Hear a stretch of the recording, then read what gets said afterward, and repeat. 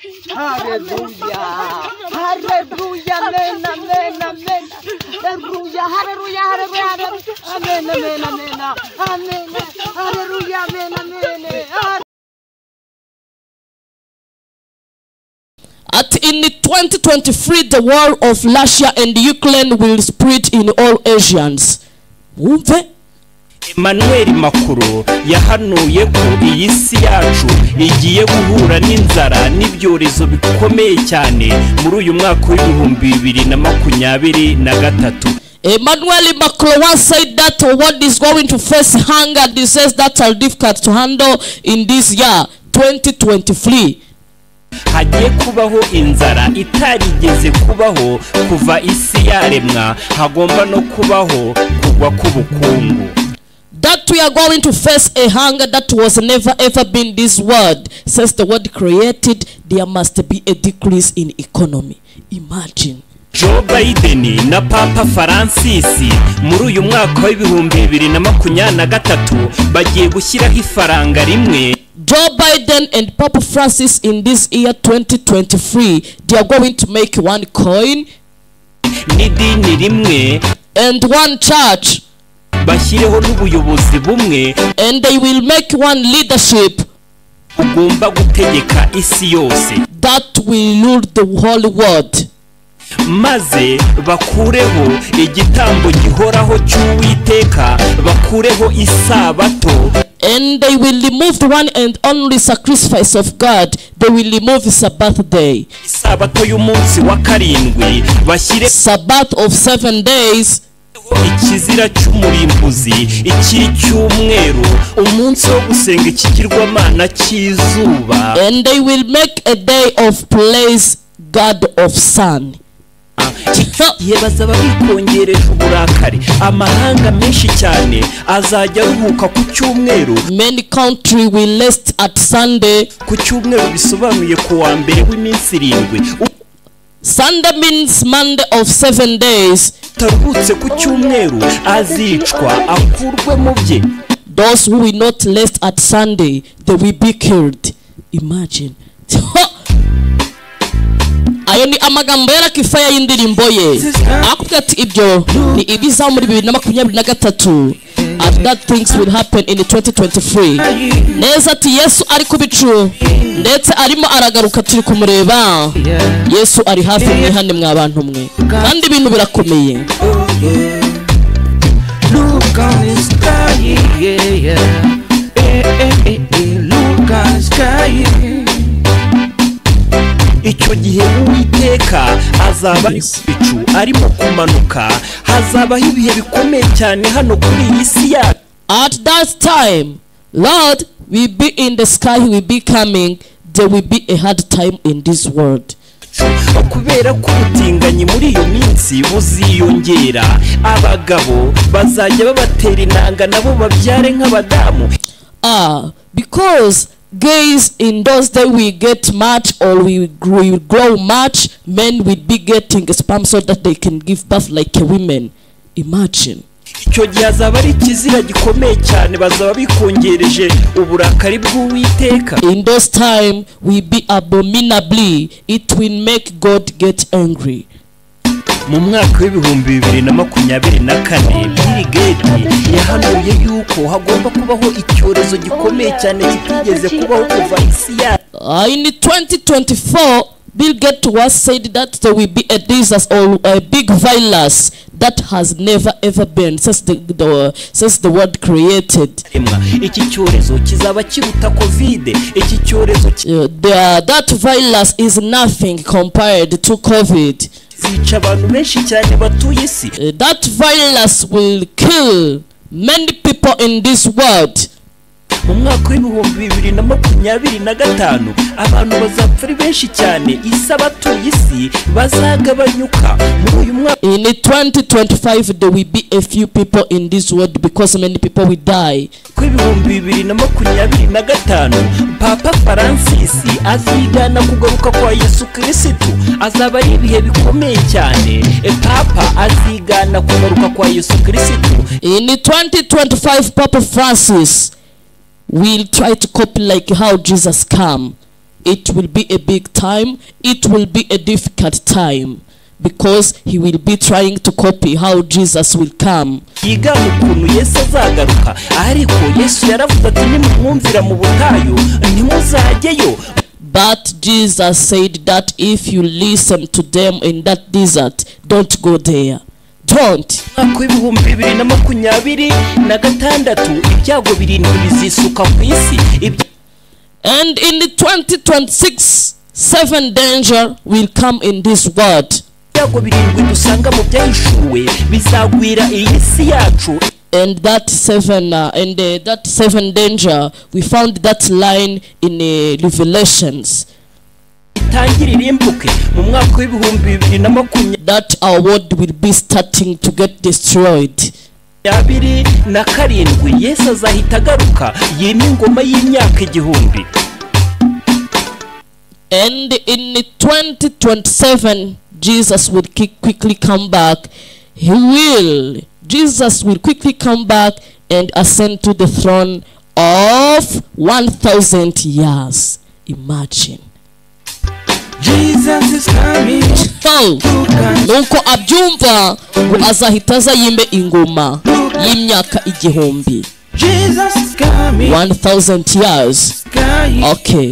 Ati yesu araje. Reba mu kirere umwitegereze. Arimo aramanuka. Kari akaririmbo kadusaba imana na kifaya emmanuel.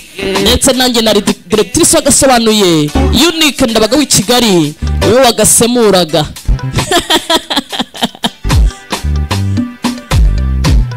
okay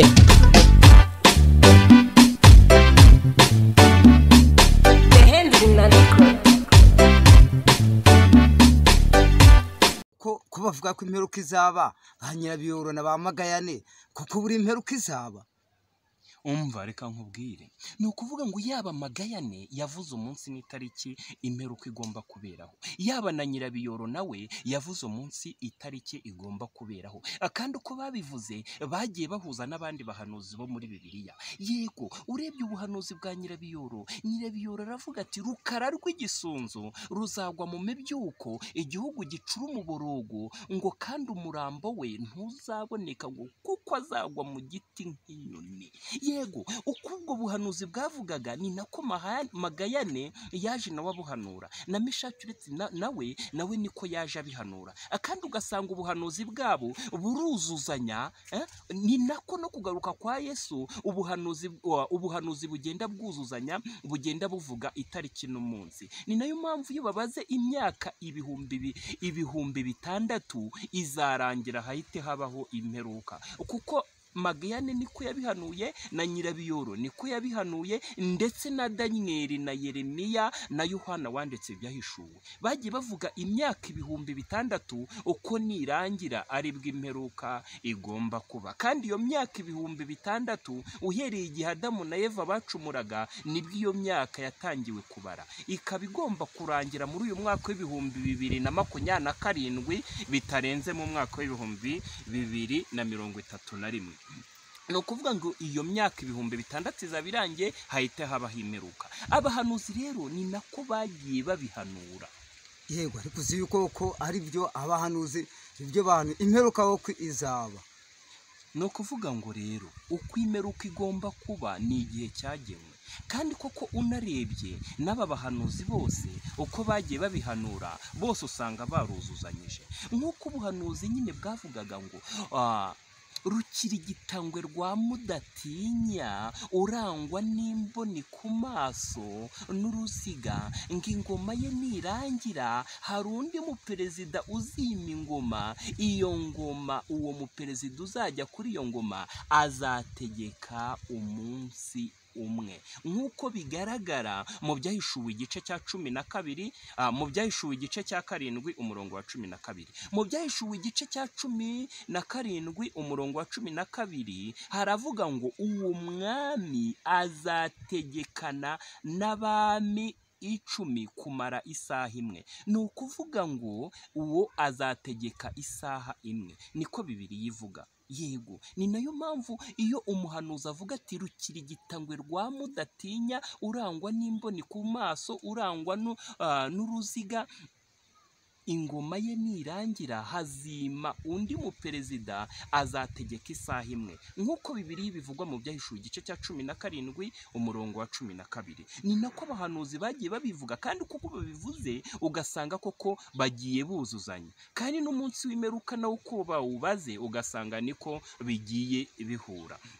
Yego ndibuka na magayane hari byinshi yagiye ahanura kandi agahuza n'abandi. Magayane ubwo yari ari muri gereza yo mu ruhengeri eh, yari muri iyo gereza yo mu ruhengeri hari umugabo wayoboraga iyo gereza yitwaga ajida shefu w'aho ngaho mu ruhengeri sembagare. Noneho magayane yabonaga ukuntu uwo muyobozi wa gereza ukuntu yatotezaga imfungwa. Ukuntu yazirwanyaga nyine zimwe akazica akazikorera iyicarubozo izindi akazigirira nabi mbese. Noneho niyo mpamvu magayane yamwegereye aramubwira ati wa mugabo wuri igikenya ntacyo uzimarira. Ati dore ejo uzataha nugera mu rugo ku marembo inkuba izagukubita kandi inkuba izagukubita ku manywa y'ihangu iyo nkuba izagukubita azaba ari inkuba itagira amazi. Ni nako byaje kugenda.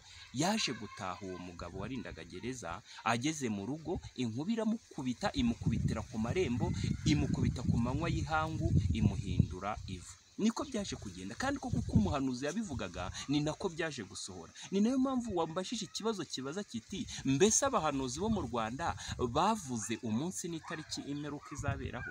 Yego bose bahujije ku myaka ibihumbi bitandatu. Iyo myaka ibihumbi bitandatu rero ikaba irimo kurangira hakaba hagomba kuba imperuka. Nk'uko tubisanga mu gitabo cy'ibyahishuwe igice cya makumyabiri. Urumva mu gitabo cy'ibyahishuwe igice cya makumyabiri marayika azaba amanutse aje aje gu- gufata satani satani bamuboha imyaka igihumbi twima ingoma y'imyaka igihumbi. Yego rwose abahanuzi ibyo bavuze imperuka koko izaba. Niyo mpamvu ngira ngo dutangire. Kuko unahereye no ku gihe wenda cya nowa imana ijya kurimbura sodoma n'igomora ubundi nowa imana yari yaramubwiye yuko ku gihe cya sodoma n'igomora yari aburahamu. Kuko imana yabwiye aburahamu yuko igiye kurimbura sodoma n'igomora Ah, kandi koko imana ihita irimbura sodoma n'igomora ariko aburahamu yaramubwiraga ati se muri uriya murwa ntihaboneka abantu icumi? Sodoma n'igomora waharimbura. Imana iramubwira iti ntabwo naharimbura. Ariko abo bantu baje kuburamo imana irimbura sodoma n'igomora imana ijya kurimbura isi ya mbere ya nowa kuri kiriya gihe cya nowa imana yari yaramubwiye yuko imana igomba kurimbura isi imana iramubwira iti harabura imyaka ijana na makumyabiri. Kandi koko byarangiye imana irimbuye iyi si iyirimbuza umwuzure. Niko byaje kugenda rero abantu benshi cyane na yo bibaza bati ese koko iyi si igomba kuri iyi si bigomba kugenda gute? E, iyo myaka ibihumbi bitandatu ese imana yayongera? Ese imana yayigabanya? Niyo mpamvu ngira ngo turebe ariko imana ishobora kuyongera cyangwa se ikagera gute ikanawugabanya. Yego rwose abahanuzi ibyo bavuze ni ukuri kuko isi y'imperuka izaba. Yego ni na yo mpamvu nubwo imperuka izaba kuri uwo munsi. Ariko amateka atubwira yuko uwo munsi imperuka izabera ngo nta muntu uwutangaza nubwo muri matayo makumyabiri na kane umurongo wa mirongo itatu na rimwe havuga ngo ntawuzi umunsi n'isaha. Ariko muri bibiliya za kera muri bibiliya mm, muri bibiliya z'igihe burayo n'icyarabu. Ah, bibiliya ivuga yuko uwo munsi nta muntu wemerewe kuwutangaza. Ariko ni ukuvuga ngo uwo munsi ni imyaka ibihumbi bitandatu. Kuko iyo myaka ibihumbi bitandatu nishira ni bwo imperuka izabaho. Ah, kandi umunsi umwe ku mana ari umunsi umwe ku mana ni imyaka igihumbi. Niko ubundi imana niko iyo minsi ibarwa.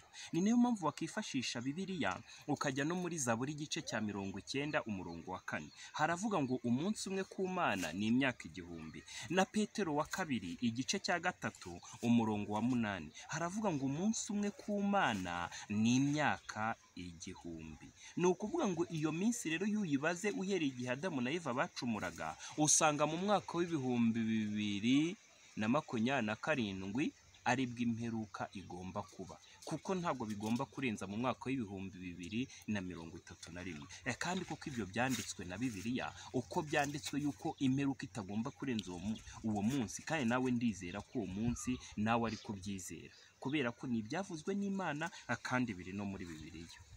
Yego rwose abahanuzi ibyo bavuze ni ukuri umunsi w'imperuka uzaba. Ugomba kubaho. Ni na yo mpamvu icyo kibazo wambajije tugomba kukireba kandi koko ugasanga duteranyije imibare ni nako koko n'imperuka igomba kubaho. Kandi igomba kubaho mu gihe cyagenwe no mu gihe cyagize gute no mu gihe cyategetswe. Ni na yo mpamvu imizingo twasomaga nko mu muzingo wa yesaya ah, cyangwa se mu muzingo wa yeremiya bavugaga yuko ah, ubwoko bw'imana eh, igihe Ne- nebukadinezari kuko ni we waje akagota yerusalemu akahasenya akajyana ba sadurake na mishaki na abidenego na ba daniyeli i babuloni noneho rero ntago daniyeli yari azi igihe igihe bazavura mu bunyage. Eh, kandi bibiliya yavugaga yuko bagomba kumara imyaka mirongo irindwi.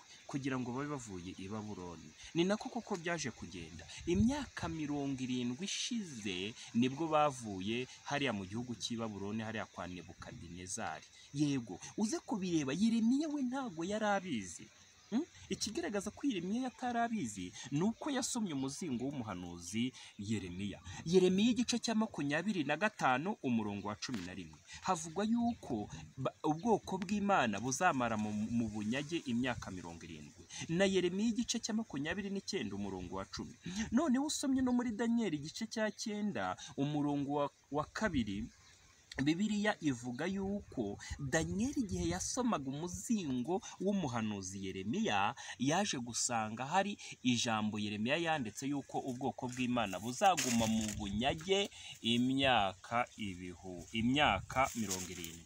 Yuko iyo myaka mirongo irindwi nishira ari bwo bwoko bw'imana buzataha bukava mu gihugu cy'ubunyagano. Kandi kuko niko byagenze ni na yo mpamvu daniyeli atubarira iyo myaka y'imperuka ko igomba kubaho. Uko byagenda kose wabyemera utabyemera imperuka igomba kuba hashize imyaka ibihumbi bitandatu uko wabyemera n'uko wabyanga wabyemera niko bigomba kugenda. Kandi bibiri iratubwira ko imperuka igomba kubaho ku gihe cyategetswe no ku gihe cyashyizweho. Urumva?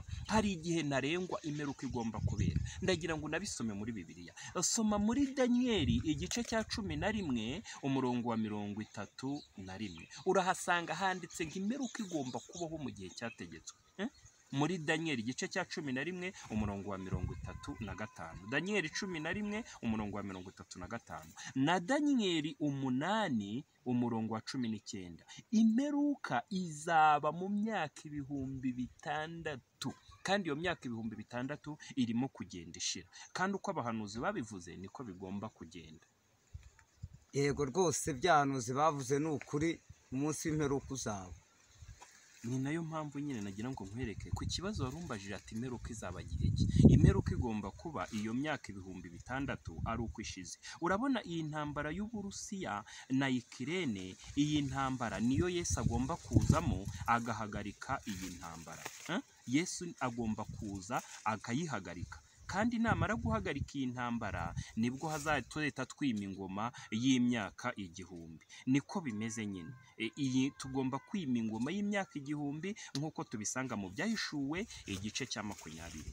Urabona iyi ntambara y'uburusiya na ikirene niyo yesu azazamo. Agahita ahagarika iyi ntambara ubundi tukima ingoma y'imyaka igihumbi. Muri daniyeli igice cya daniyeli igice cya cumi na kabiri umurongo wa mbere ngo marayika mikayeli azamanuka. Ahagarika intambara. Yego. No muri matayo makumyabiri eh, na kane umurongo wa makumyabiri na kabiri. Bibiri ivuga yuko yesu azahagarika intambara mu bihe bizaba bikomeye mu bihe by'inzara mu gihe muri ibi bihe by'intambara y'uburusiya na ikirere yego no mu byahishuwe igice cya makumyabiri umurongo wa mbere bibiri ivuga ngo marayika azamanukana umunyururu muremure abohe satani wayobyaga amahanga. Eh, wayobyaga amahanga bakarwana uburusiya na ikirere bukarwana. Na zakariya igice cya cumi na kane umurongo wa miro- umurongo wa gatatu. Zakariya igice cya cumi na kane umurongo wa gatatu. Ngo nk'uko yesu yajyaga atabara mu ntambara azamanuka ahagarika iyi ntambara izaba yakwiriye mu burayi ahagarika iyi ntambara y'uburusiya na ikirere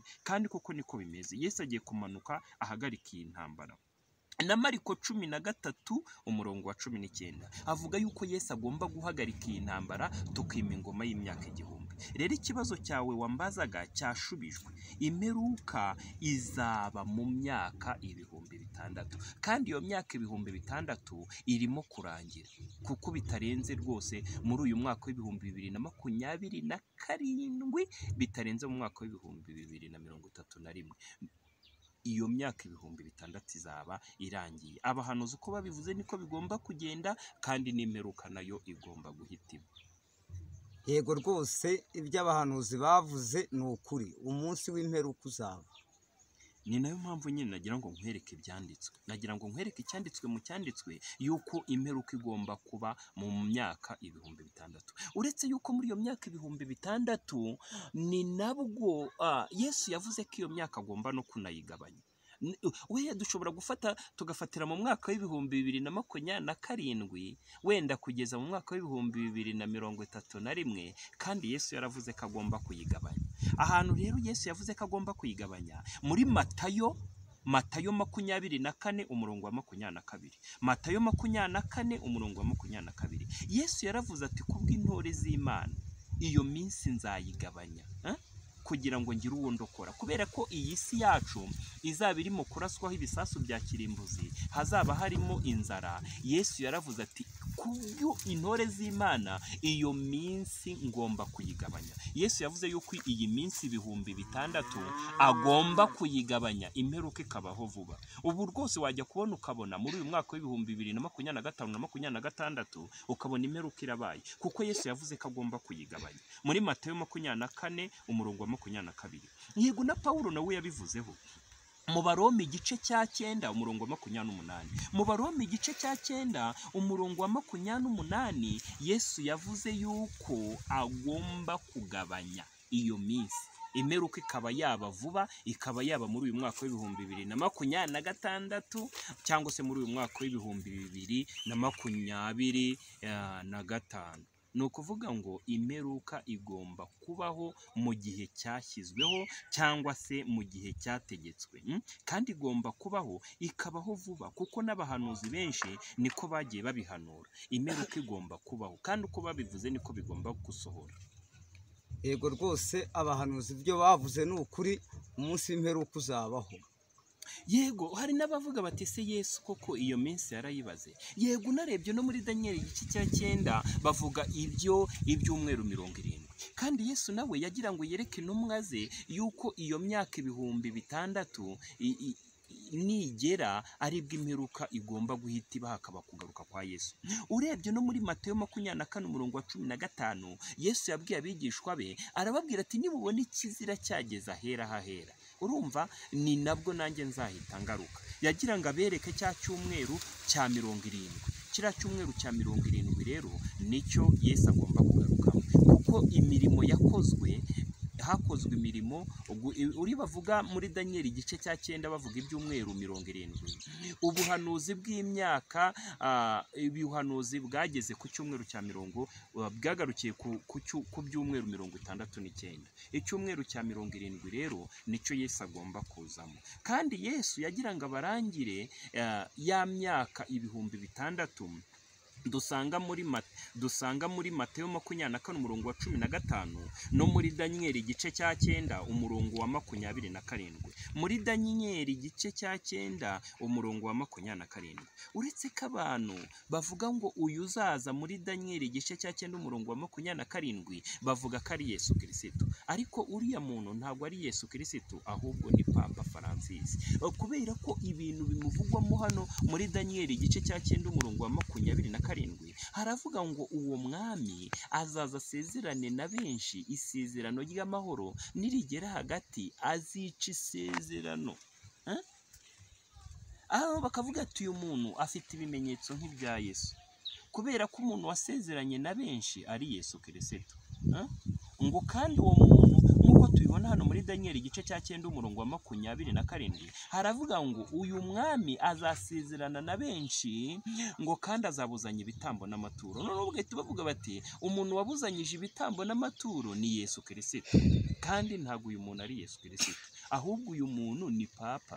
Niwe uzasezerana na benshi. Isezerano nirigera hagati azagica reka nibutse abantu uburyo yasezeranye. Mu mwaka w'ibihumbi bibiri na cumi na karindwi ni bwo papa francis yasezeranye n'amadini yose y'uko bagomba gukorera hamwe bagakorana ubufatanye. Ariko byasohoraga hano muri daniyeli igice cya cyenda umurongo wa makumyabiri na karindwi. Eh? ngo uwo mwami azasezerana na benshi. Hano uvugwa ni papa. Papa ni we wasezeranye na benshi. Isezerano ry'amahoro. Ngo ariko nirigera hagati ngo azica isezerano. Urumva? Yego. Ariko abantu benshi biga bibiliya bavuga yuko ngo uyu muntu ari yesu ngo kuko uyu mwami uzaza barebye ibimenyetso bimuranga. Icya mbere azabuzanya ibitambo n'amaturo. Icya kabiri azasezerana na benshi isezerano. Nirigera hagati azayibica urumva? Urebye ibi bimenyetso koko umuntu wasezeranye na benshi wabona ko yesu nawe kubw'isezerano rye ni iry'abantu benshi. Kandi na yesu nawe yabuzanyije ibitambo n'amaturo.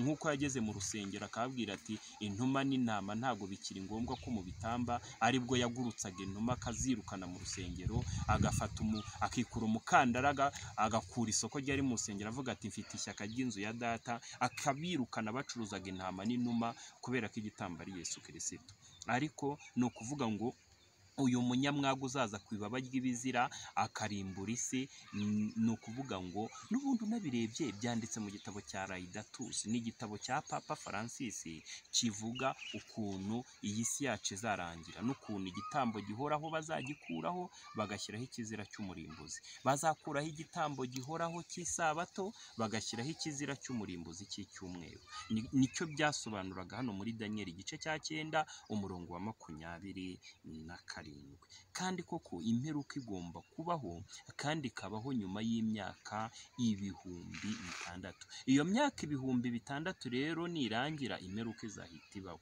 Kandi koko uko abahanuzi babivuze ni nako bigomba kugenda.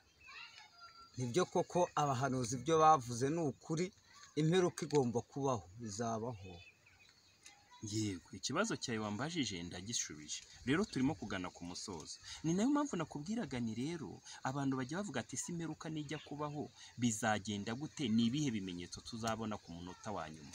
Muzabona yerusalemu bongeye kubaka urusengero bagasubizaho ibitambo n'amaturo. Yego nk'uko bibiri ivuga ngo umwana w'isezerano ntabwo azaragurana n'uw'inshoreke. Bano barabo bakikije isiraheli ni abana ba hagayi. Eh, isumayire nyine isumayire na hagayi buriya ubutaka bwabo ni buriya bukikije isiraheli. Eh, biriya bihugu by'abarabu ni umuryango wa hagayi na isumayire. Buriya rero uyu muryango wa hagayi na isumayire bubatse imisigiti ibiri hariya mu butaka bwa isiraheli. Bubatse imisigiti. Iyi misigiti rero igiye gusenywa nimara gusenywa bahite bubaka urusengero. Urwo rusengero nibamara kurwubaka ni bwo bagomba gushyiraho ibitambo bagatangira gutamba. Ariko urwo rusengero ruzubakwa itorero ryarazamutse. Ni nabwo gogi na magogi bazatera yerusalemu. Nk'uko birivuga ati magogi na magogi bazatera yerusalemu. Nk'uko tubibona muri zakariya igice cya cumi na kane umurongo wa kabiri. Nk'uko byongera bikagaragara hano mu gitabo ah, cya ezekiyeli. Ezekiyeli igice cya mirongo itatu n'umunani. Baba bavuga gogi na magogi hano ezekiyeli igice cya mirongo itatu n'umunani iyo bavuga gogi na magogi baba bavuga uburusiya. Uburusiya rero buzifatanya na irani batere isiraheli ariko bagitangira gutera isiraheli yesu azahita agaruka ahagarika iyo ntambara. Kubera ko izi nsengero nyine eh, uru rusengero rw'abayisilamu ruri mu butaka bwa isiraheli uru rusengero urabona hano hari urusengero rwa salomo. Kubera ko urusengero rwa mbere urusengero rwa mbere nebukadinezari yararusenye. Urusengero rwa kabiri tutusi w'i roma nawe araza ararusenya noneho urusengero rwa gatatu nirwo rugiye kubakwa. Ariko hari kubaka urusengero rwa gatatu hari umusigiti w'abayisilamu. Uyu musigiti w'abayisilamu rero bagiye kuwusenya noneho bubaka urusengero ah, rwa gatatu. Ari rwo rero antikirisita azinjiramo agashyiraho ibitambo ariko urwo rusengero ruzatangira kubakwa itorero ryarazamutse kandi urwo rusengero ruzubakwa muri cya cyumweru cyasigaye muri bya byumweru mirongo irindwi. Daniyeli yahanuye muri daniyeli igice cya cyenda. Muri bya byumweru mirongo irindwi daniyeli yahanuye hasigaye icyumweru kimwe. Icyumweru kimwe cyuzuza ibyumweru mirongo irindwi. Urwo rusengero ni rugomba kubakwa muri icyo cyumweru. Itorero rya yesu kirisito rizaba ryazamutse noneho ari bwo tuzagenda tukabana n'imana ari bwo tuzagaruka kwima ingoma y'imyaka igihumbi. Urumva rero ikibazo nagishubije imperuka igomba kubaho kandi iyo mperuka ikabaho uh, imyaka ibihumbi bitandatu iyo myaka ibihumbi bitandatu nishira niko imperuka igomba kubaho. Urumva ikibazo cyawe ntagishubije kubera ko abahanuzi bahanuye yuko iyo myaka ibihumbi bitandatu nirangira ari bwo imperuka izabaho. Daniyeli yarabihanuye yeremiya yarabihanuye n'abahanuzi bo mu rwanda bose barabihanuye ubwo rero imperuka igomba kubaho nyuma y'imyaka ibihumbi bitandatu nishira imperuka igomba kubaho. Ngira ngo ikibazo cyawe nagishubije. Urakoze cyane. Ni ukuvuga ngo rero turashoje. Ubwo rero abazagira ikindi kibazo bazabitubaze muri komanteri bazatwandikire bajye batera komanteri batubwira ati se icyo kibazo cy'imperuka ah, natwe turagira icyo tukivuga. Ushaka gutanga inyunganizi eh, cyangwa se komanteri ujya kuri cano yacu ya YouTube ugatanga komanteri ukandika uti se ibyo byumweru mirongo irindwi bisobanuye iki? Iyo myaka ibihumbi bitandatu iboneka hehe na hehe?